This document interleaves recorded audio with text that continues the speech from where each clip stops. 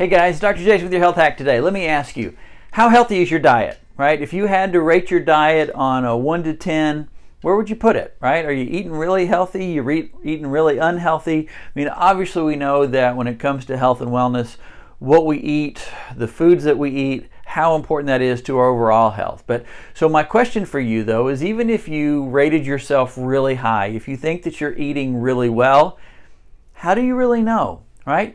Let me ask you this. This is a really important question. Have you had your food allergies tested?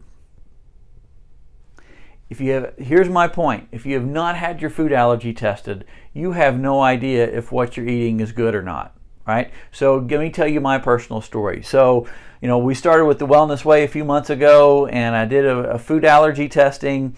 And you know, there's two different types of food allergies. There's one that's like the kids eating the peanuts and their throats swell up. That's not what most people have, but that's out there, right? But the other thing is there's another type of sensitivity or reaction that your body has that it's not an immediate reaction, but those different foods can cause inflammation in your gut.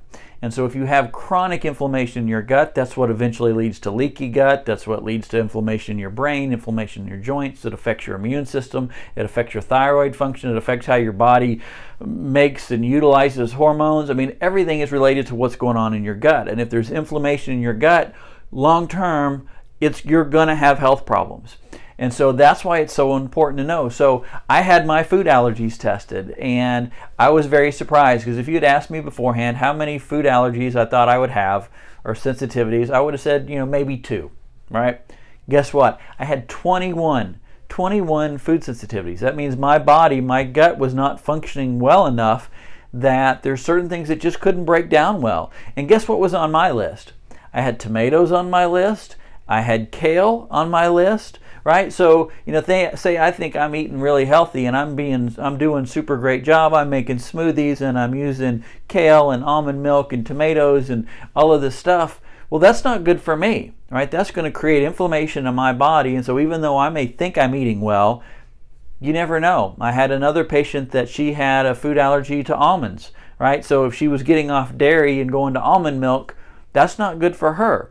And so that's why it's so important. Everybody needs to be tested. You really need to have your food allergies tested to see what your triggers are because whether you realize it or not, if you have food sensitivities, if you had food allergies, it's going to affect your health sooner or later it's going to manifest and you're going to have problems from that. And even if it doesn't, if you don't have outward symptoms, it's still affecting how you function. Maybe it's affecting your energy levels. It's affecting your immune system. It affects your ability to get a good night's sleep. Maybe you're, you know, you've got acne or eczema or other skin issues that are going on. It all comes from your gut. So I can't emphasize enough how important it is get your food allergies tested because that's how you can know best how to be healthy.